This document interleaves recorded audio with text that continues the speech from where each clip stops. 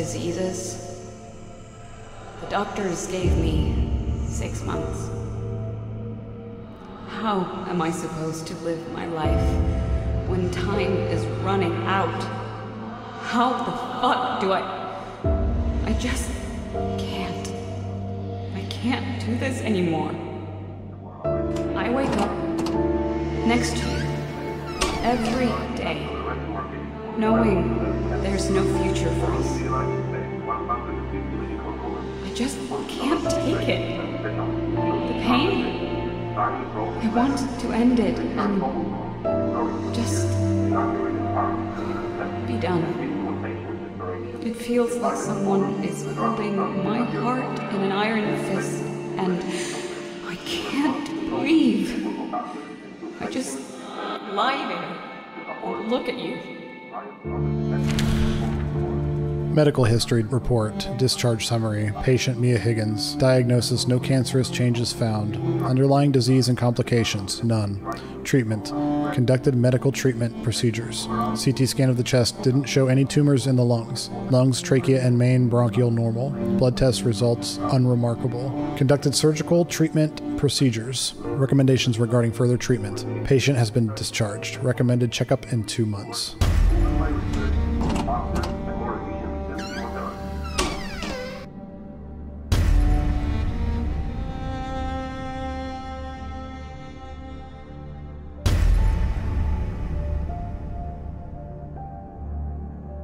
Will Jake Higgins' discoveries save the world? Nobody believed that Higgins really found the secret of eternal health. Today we know that thanks to his discoveries, Amalu Corp is going to change the world, releasing humanity from the burden of sickness and suffering. Sammy is suffering from acute lymphoblastic leukemia. He is only four years old and has spent most of his life in a hospital, being subjected to chemotherapy and stuck with needles. Bone marrow transplantation gives the biggest chance of recovery, but Sammy, like thousands of other sick children, is not eligible for the procedure.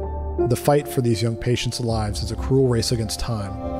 Unexpectedly, Amalu Corp has joined the struggle, announcing a swift launch of a new generation drug, which is to make cancer treatment as easy as curing a cold.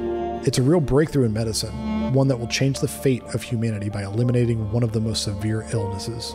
The research conducted by the company has aroused great hope. Terminally ill patients have already started gathering next to Amalu Corp's headquarters, hoping that they will be chosen for the first tests. Officially, the company states that it's far too early to experiment on people. But according to witnesses, cured patients were seen leaving the company's headquarters. Shocking reports about the unbelievable effects of the drug are drawing in a flood of desperate people, willing to spend the rest of their lives in a queue in hopes of a miracle. And leukemia is just the beginning. The company has announced that more drugs will be developed to eliminate other untreatable illnesses, all of them based on Jake Higgins' research.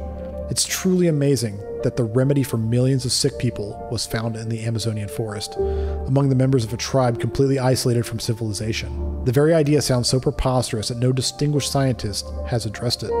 Only Jake Higgins found enough courage in his heart to set off on a long and dangerous journey in hopes of finding a revolutionary cure. Is there really hope for Sammy? Right now, doctors give him a 20% chance of recovery, whereas the new drug is said to be 100% efficient. If the boy gets it fast enough, he will have a long, normal life to look forward to. And even though a world without illness seems like a vision straight out of a science fiction movie, Jake Higgins and Amalu Corp have just taken us one step closer to fulfilling that dream.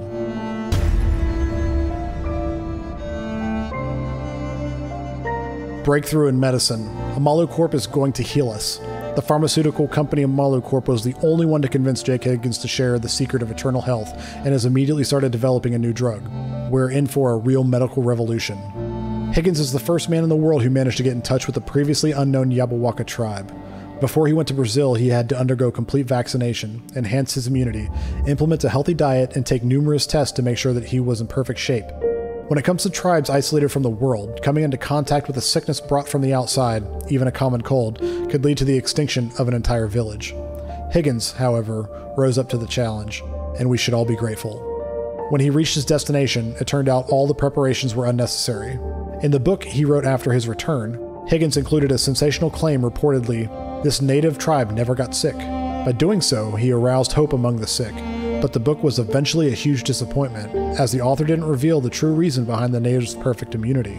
Medical experts assessed that without evidence, his claims were nothing more than fairy tales.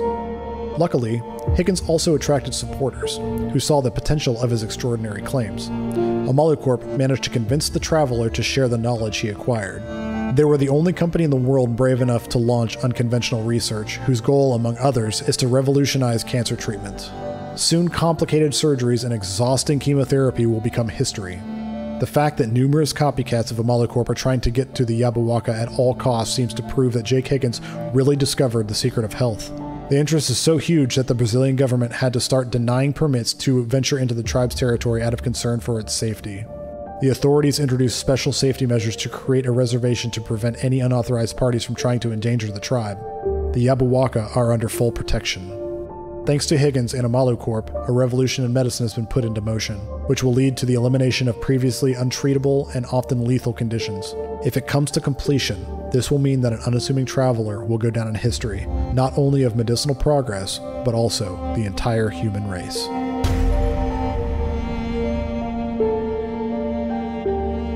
A new, better world. It is done. Amalu Corp has launched a new era in the history of mankind. The revolutionary drug has entered production, and soon cancer will finally be defeated. Everything began with the traveler Jake Higgins, who went to the Amazonia and brought back the secret to eternal health, and then shared his findings with the Malu Corp. The company immediately started research on the new drug, which will cure cancer once and for all. One of the worst sicknesses will soon be completely eradicated, may be hard to believe, but the results of the test are unambiguous. The cure is really working and leads to full remission, and this is only the beginning. The medical revolution is gaining momentum, and there's already research underway aimed at eliminating other sicknesses. Thanks to Amalu Corp, the impossible has become possible, and today we are standing before a unique opportunity to ensure that mankind is healthy and durable like never before.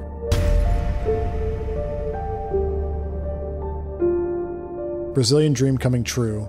While the Brazilian pharmaceutical company Amalucorp is giving away free injections of a supposedly revolutionary cure-it-all to the country's citizens, the rest of the world watches in outrage as the prices of the drug keep soaring.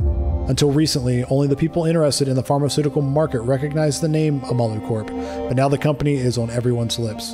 The drug it developed in record time is said to work as a perfect vaccine that ensures immunity to all kinds of illnesses. And for those already sick, it stimulates the immune system, causing a remission and complete recovery. Although all of this sounds unreal, the internet is full of photos and clips presenting testimonies of people cured of cancer, AIDS, or lupus. A study has also been published that shows great effectiveness of the drug against Ebola, which has been untreatable so far. However, Amalucorp has refused to give access to the drug to foreign medical labs. Therefore, no research outside of Brazil has proven its effects. This doesn't seem to discourage the sick and dying from all around the world. They set up online fundraisers, hoping to collect the unimaginable amounts of money needed for treatment. Those who can make a pilgrimage to Brazil in hopes of getting an injection for free. People are queuing up at the border, waiting to be let in, and airlines are launching new connections to address the rising demand. Although Amalu Corp is giving away the drug for free in Brazil, the profits of the company have already reached billions of dollars. The company has exclusive rights to the new drug and keeps its ingredients secret, not to let anyone copy the formula. This means that it's free to dictate the prices for other countries. According to unofficial reports, among the parties negotiating with Amalucorp are not only importers from the USA, but also the governments of different countries, aiming to provide their citizens with access to the drug. Details of these conversations haven't been made public yet, but we know that Amalucorp is looking to build its branches around the world, initially at least one per each continent. A race between world powers is underway, and it will determine the choice of first locations. The success of Amalu Corp is slowly affecting the entire country. Brazil, so far the world's eighth largest economy, is now on its way to the very top.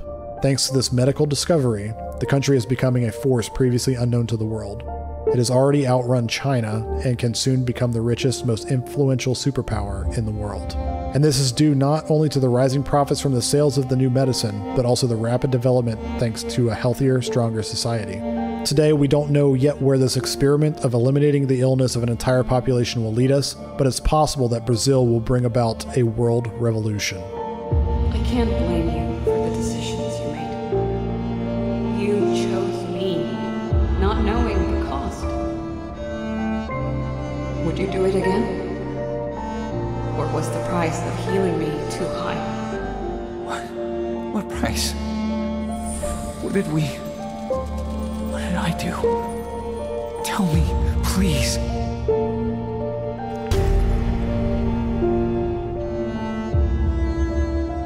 Speed, more important than quality?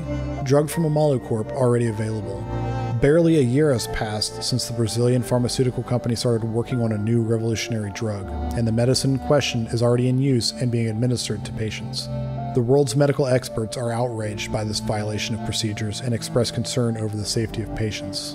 On Tuesday, the WHA officially condemned the actions of Corp, which introduced a new drug onto the market at such a record breaking speed According to the WHA representative, it is impossible to conduct all necessary tests and adhere to international guidelines for new drugs in such a short time. Meanwhile, the president of Brazil has offered his support to the company, indicating that the drug has been approved for sale by the appropriate registration office. He also added that the gravely ill can't spare several years to wait for effective treatment. According to the CEO of Amalucorp, K. Kwiatek, the drug was examined and is safe to use. It is also said to be exceptionally efficient against cancer. Supposedly, the medicine leads to a complete and swift recovery, while also preventing recurrence and metastasis. This is why its rushed introduction onto the market is supported by organizations from all over the world before a drug makes its way to patients. The development of any drug starts with searching for new ways to treat a particular sickness, condition, or symptoms. In the first phase, as many as hundreds or even thousands of chemical substances and compounds are examined for their healing and preventative potential. Next, out of that pool, a small number of the most promising ones are chosen. They undergo preclinical trials, which are conducted on live tissue or bacteria and take approximately five years. It isn't until the next phase that the substances chosen from the initial pool are administered to people in a series of strictly regulated clinical trials, which take up to six years. Only then can a pharmaceutical company apply for registration. The application is examined by a registration authority for about one and a half years. Once approval is received, the production of the drug can finally be launched, and then it is introduced onto the market. This isn't the end of the procedure, though. Every officially available drug is under constant, strict supervision.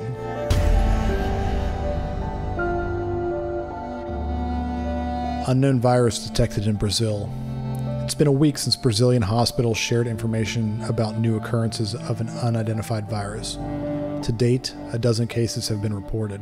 For safety reasons, the patients are isolated. Most of them have slipped into a coma, and the doctors describe their condition as serious. Tests are being conducted to identify the virus and its mutations. Currently, the patients are provided with symptomatic treatment, whose aim is to increase their comfort.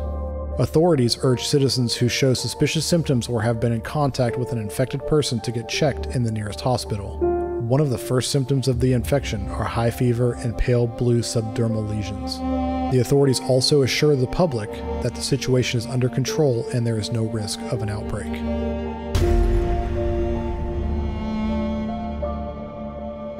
More infected with new virus in Brazil. The situation in Brazilian hospitals is becoming worse.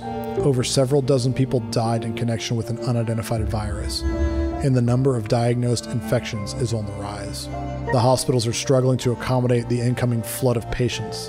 Initially, the sick were kept in isolation, but no hospital has a sufficient number of isolation wards for all the affected. Entire wards and even wings of hospitals are being turned into quarantine zones. Unfortunately, the efforts of the medical personnel may not be enough to prevent an outbreak. People in an advanced stage of illness are found at homes, in the streets, and in public spaces, thus spreading the virus even further. The worst scenario is playing out in the poorest districts and favelas. Poor sanitation and access to healthcare, paired with the distrustful attitude of the citizens towards the authorities, make it even more difficult to contain the virus in these areas. The Minister of Health assures the public that several research teams are currently working independently to identify the virus. At the same time, a special investigative task force has been formed to determine the source and cause of the outbreak. The president of Brazil claims that the situation is under control, but is asking the citizens to follow strict safety measures and avoid public places if possible. Several big events were canceled for safety reasons, and kindergartens and schools see a decline in attendance.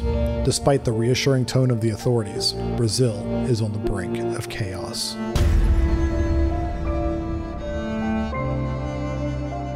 Outbreak of unknown disease spiraling out of control. Not long ago, Brazil aspired to become the world's greatest superpower, but now it has found itself on the brink of total collapse. A mysterious disease has already cost Brazil the lives of 20 million people. The country is running out of its medical supplies, and the government has lost control of the country. If the outbreak spreads beyond the borders, the crisis may consume the entire continent. Due to the tragic situation in Brazil, the neighboring countries have introduced procedures that are meant to protect their citizens from being infected. Additional forces have been deployed to control the borders, and official crossings have been closed. Runaways who are trying to escape Brazil illegally are apprehended and sent back. The rest of the world has also introduced restrictions. Most airports have suspended flights to and from Brazil. At a special conference organized by the WHA, representatives from all around the world are debating how to stop the unidentified virus from spreading any further. One of the first propositions is to fortify the safety measures at the Isthmus of Panama. From a geographical perspective, it is the most convenient place to stop the outbreak, because the epidemic has already reached Colombia. Other propositions include building barbed wire entanglements, fences, or even a wall reaching from coast to coast. Engaging major military forces is being considered. It's easy to notice the helplessness of the WHA in the face of the crisis. All the solutions discussed so far are mostly aimed at protecting the countries that haven't been affected by the disease. No one has proposed a method of efficient treatment of the virus or containment of the chaos ridden area. The first day of the conference has led to disappointing conclusions, and the world still cannot feel safe. They all believed this was the only solution. Shutting down airports, seaports, and now this? They are isolating the entire continent.